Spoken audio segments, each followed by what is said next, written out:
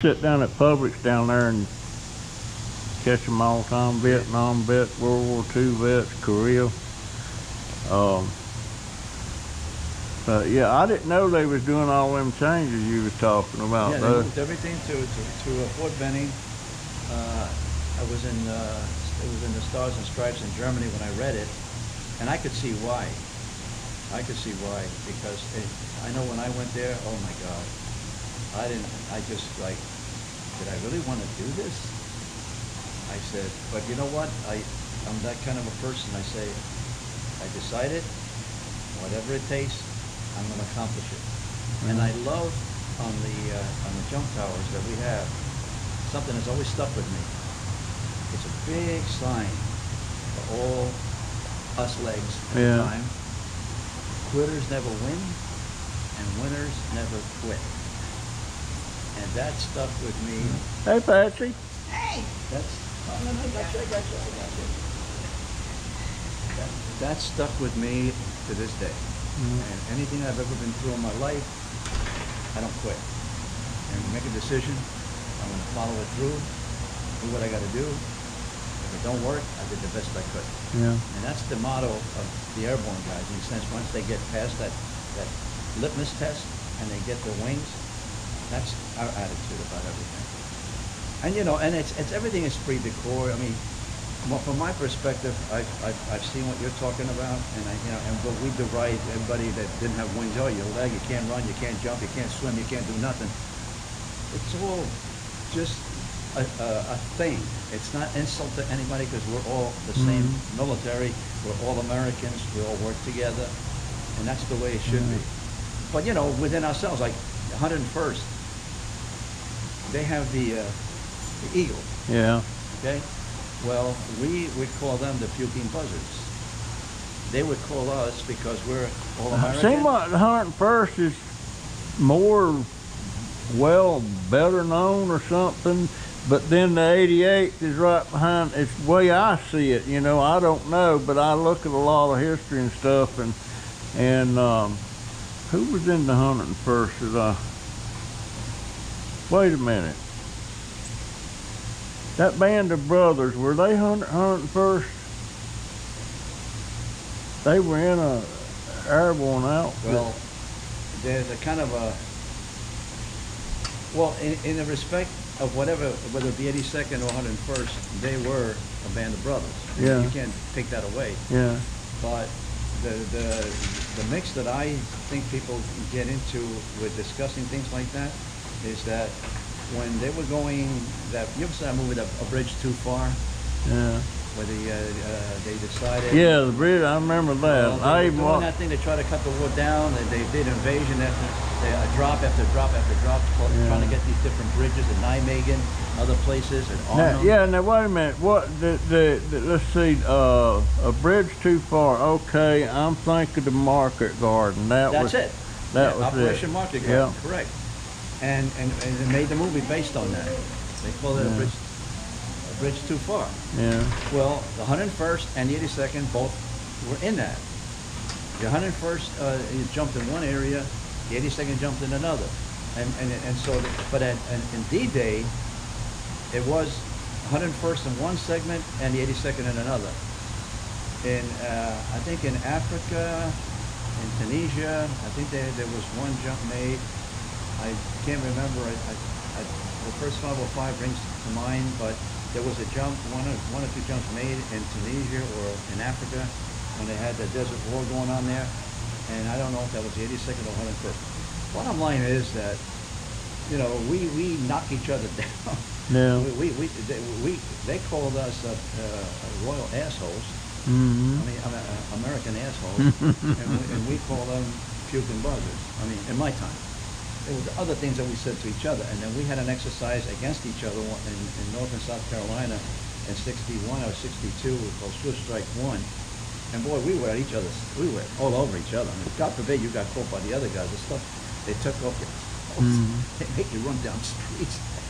crazy things that went on. But anyway, the bottom line is that in the, in this, in the sphere of the whole thing,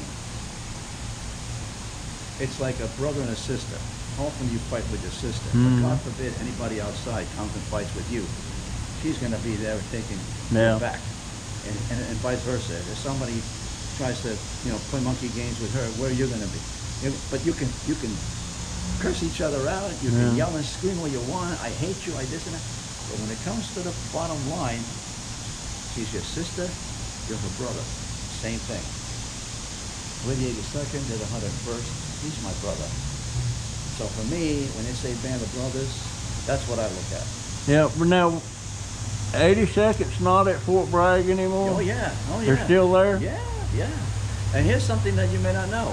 I didn't know. A few years ago, I was over here in Ocala at uh, Home Depot, and not Home Depot, Lowe's, and all of a sudden, I, I see this young strapping guy walk over to me and shakes my hand because he saw my hand. He says, "Thank you for your service to your country." I said, "Well, thank you, but I can tell that you're military too, even though you're not in uniform." Howdy. Open the other. Hmm? Oh yeah. Oh, okay. Sure. Okay. Yep. Thanks. Won't work unless you're off the mat. You can just open it. Yeah. There you go. All right, thank you. Okay. And uh, what were we talking about here? I lost my track. Oh, I do that too. I know, I was at Bragg for about two and a half months. I, from basic in Jackson, I went to Bragg after my leave and went to Bragg and we had our, uh, infantry training uh, no, I was in artillery, Oh, okay. twenty-eight. Okay. And, um, after we had all that training at twenty-eight, the, the whole outfit gyroed over to. We gyroed over to Germany and that, and I think they've dissolved the 28 now. Oh, I- here's what I was thinking. I'm sorry. You, when you just said that, it hit me back. This guy had a shirt on that had like it looked like a glider wing, but would have a, a paratrooper Mhm. wings out and something in the middle that I couldn't figure out. And we were talking. So I, s- so he says, I was, I was, I was, I'm with the 101st. He's still in, right? And I said, oh, 101st Airborne. He says, no. I said, what? 101st Airborne. No?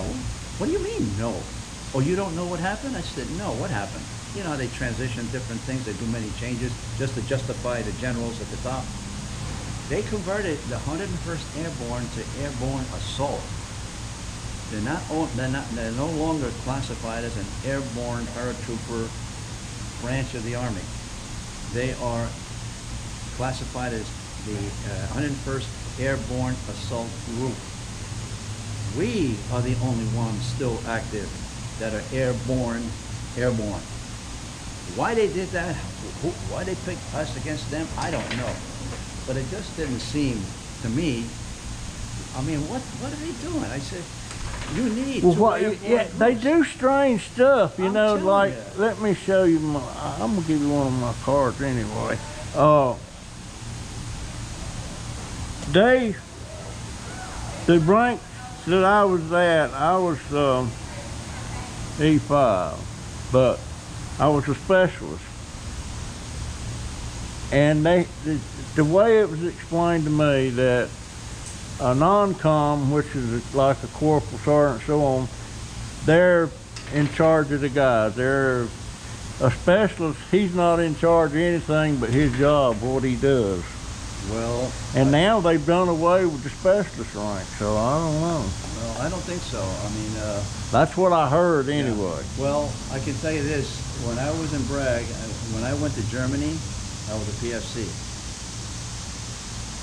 A year later, I was still a PFC, because I found out that in Germany, ranks were frozen.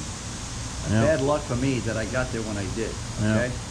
At Bragg, it was running rampant.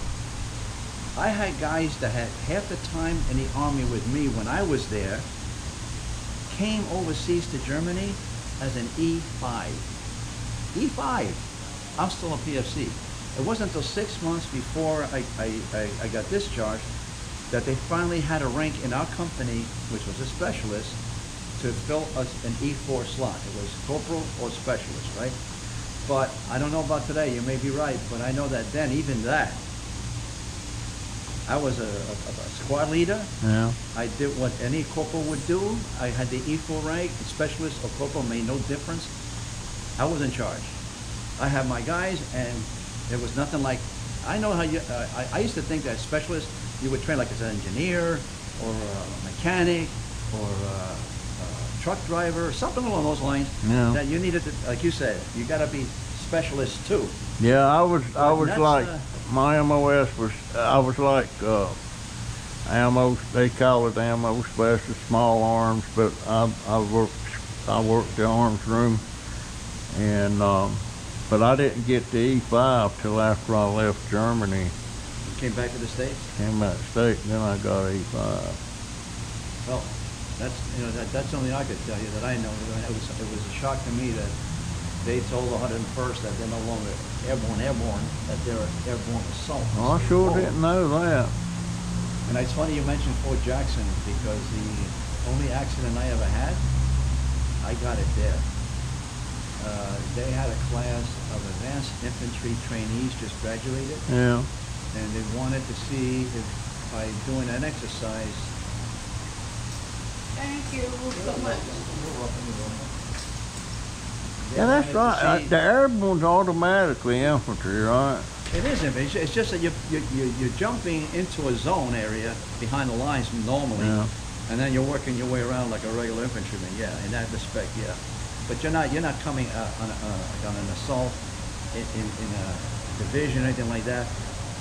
Here's the enemy. You're on this side, and you're moving that way to get them out of towns. No, we go behind and we try to block.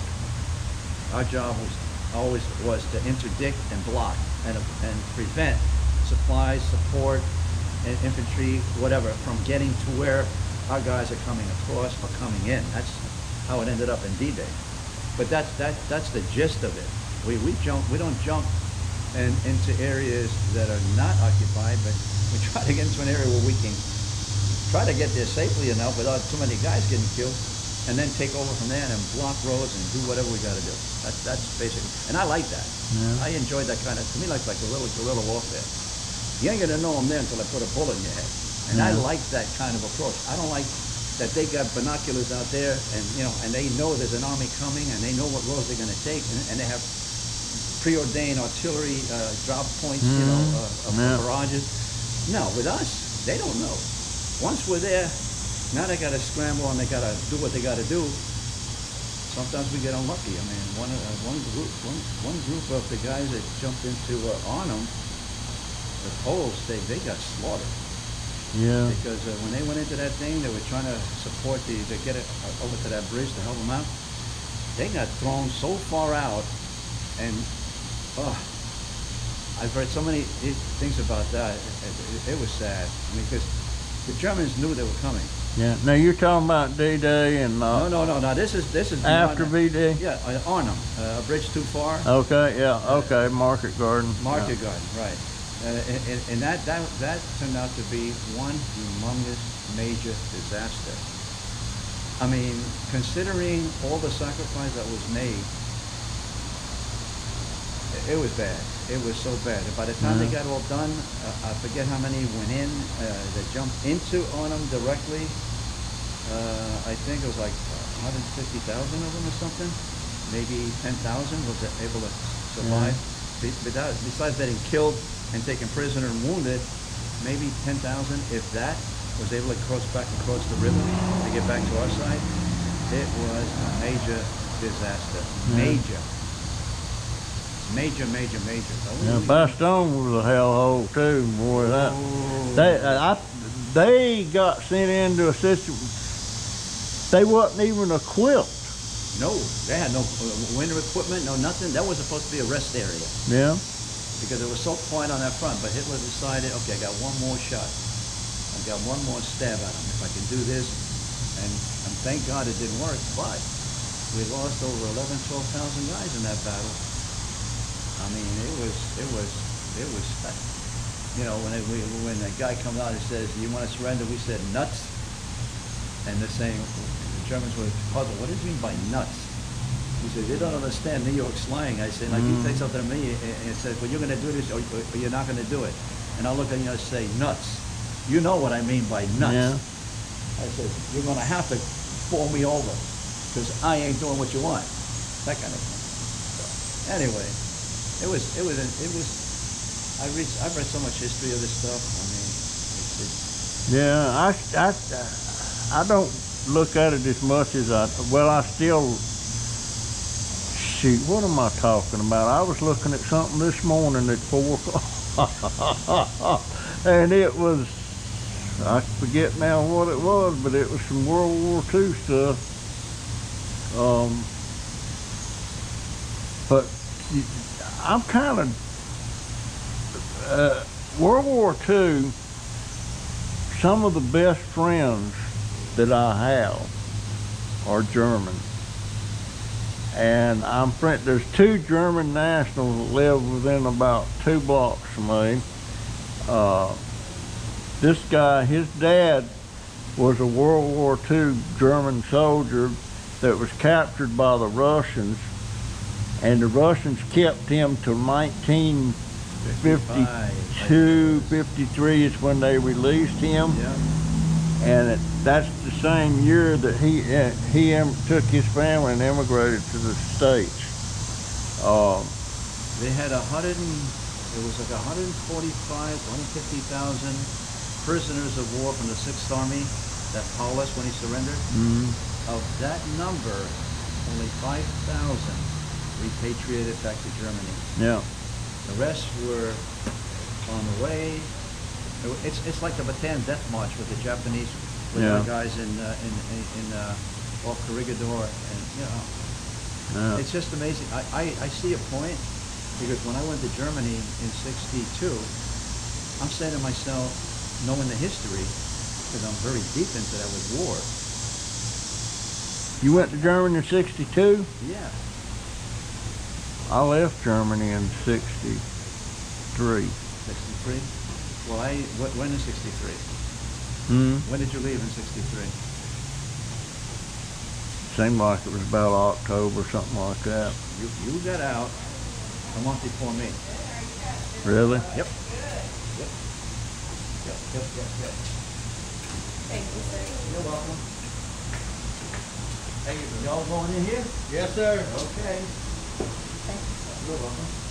You're welcome. Just making sure. Yeah. Yeah, I was, uh, uh, but the thing that struck me was, it's amazing to me how the life cycle goes.